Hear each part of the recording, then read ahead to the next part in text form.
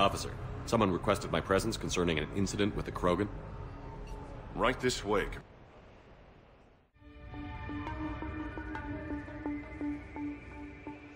So, Grunt. Anything you want to tell me about?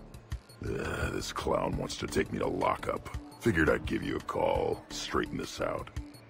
Commander Shepard, I apologize for the intrusion. This Krogan insisted we contact you. It's okay. I'll vouch for him. I'll sign any paperwork you have, officer. Yes, sir. What happened? I don't know. Drank a bit, left the hospital, broke a few windows. But you were in that hospital recovering from the Rachni encounter. Yeah, didn't feel like sticking around. Most people stick around long enough to, you know, heal. Most people aren't me. And why is C-Sec here? Guess they're precious about some broken glass. Before I sign you up, everybody walked away from this in one piece, right? Sure, yeah, everybody's fine. Hospital's seen better days, though. right. Tell me about the windows. A couple of squad mates broke me out for my birthday. Tried lowering me down the side of the building on a rope. It didn't work out. It's your birthday? No, I'm tank bred, remember? Anyway, we got some pictures on the Krogan Memorial. In the Presidium? Yeah. When C-Sec got there, they were mad. Or maybe they were mad about their car being on fire. I Can't remember. Why was it on fire?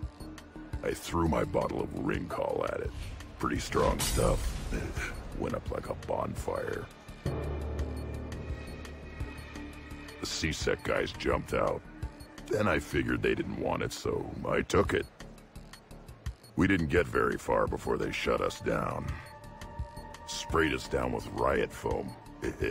didn't work so well on me. And why's that? Because I was on fire. You know, from the car. Come on, Shepard, keep up. Right. Sorry. So how did they catch you? Got hungry. Bought some noodles. Grunt, you apologized to the nice man for setting his car on fire. Fine.